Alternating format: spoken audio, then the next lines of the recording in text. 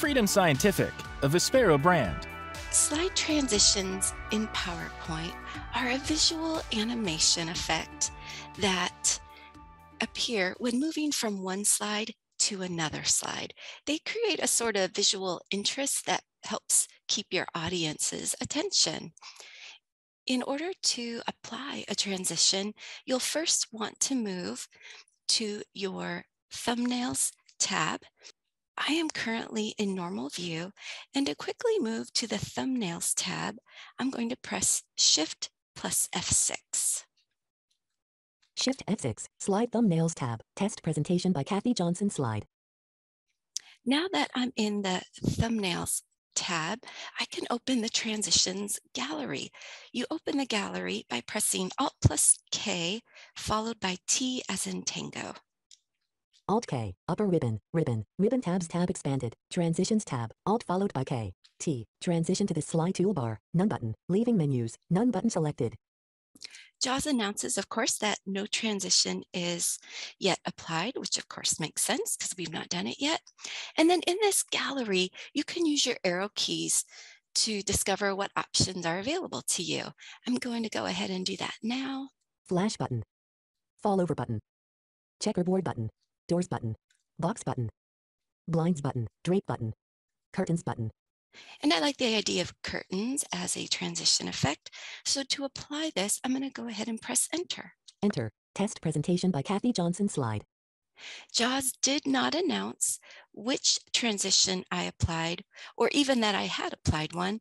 So in order to verify that a transition has been placed on your slide, open your transitions tab again. I'll do that by pressing Alt plus K followed by T as in tango. Alt K, upper ribbon, ribbon, ribbon tabs tab expanded, T, leaving menus, curtains button selected. And JAWS announced that the curtains transition was applied. I'll go ahead and press escape to close the gallery. Escape, upper ribbon, submenu, transition effects button collapsed, Alt followed by K, T, leaving menus. And that is how you apply transitions in PowerPoint. PowerPoint themes are a set of attributes such as color, font sizes, background styles, and so forth that will apply to an entire presentation. To apply a theme, you're going to want to open the themes gallery, and you do this by pressing Alt plus G as in golf, followed by H as in hotel. I'm going to go ahead and do that now.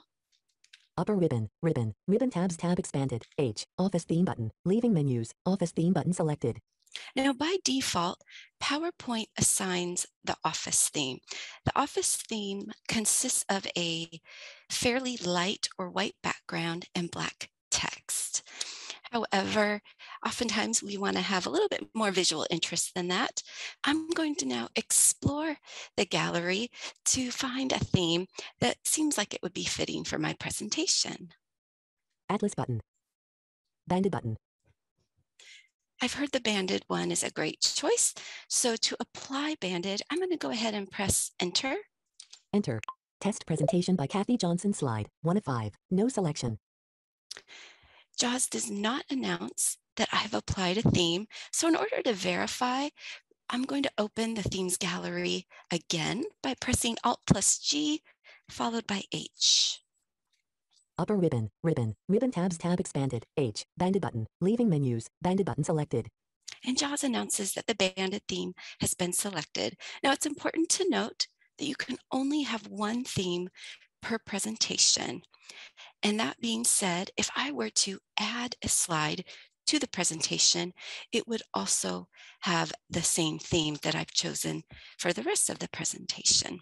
And that's how you apply a theme in PowerPoint. PowerPoint animations are a visual effect that are applied to both objects and text within a presentation. Now by objects, I mean things such as pictures, graphs, charts, anything of that nature. And then by text, I mean any of the written information that you have within your presentation. The purpose of the animation is to really bring attention to a certain focus area and keep the interest of your audience. So I am currently in my demonstration presentation. I'm in normal view and on slide one, and I'd like to bring some more interest to the title. So I'm gonna go ahead and press tab to move to my title. Center title placeholder, level 1, test presentation by Kathy Johnson.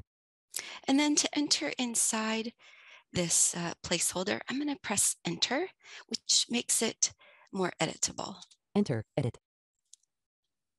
Great. And now I need to open the animations gallery, and that's done by pressing Alt plus A as in alpha, S as in Sierra.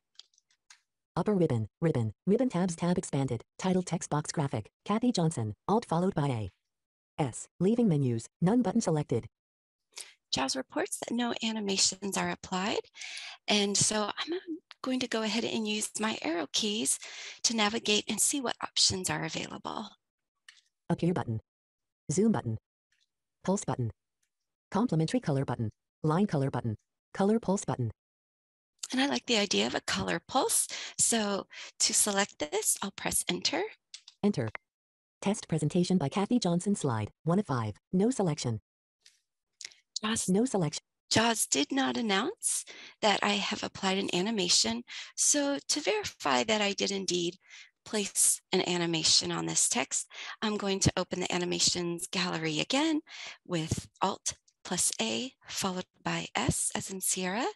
Upper ribbon, ribbon, ribbon tab S, leaving menus, color pulse button selected.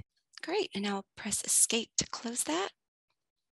Escape. Test presentation by lastly, Kathy I want Johnson. to, and pardon me, and lastly, I want to include that the animations are only visible when you are either in reading view or slideshow mode. And that is how you add an animation effect to your PowerPoint presentation. Freedom Scientific, a Vispero brand. To stay up to date on upcoming webinars and training events, complete the sign up form at freedomscientific.com forward slash webinars. Thanks again for connecting with us.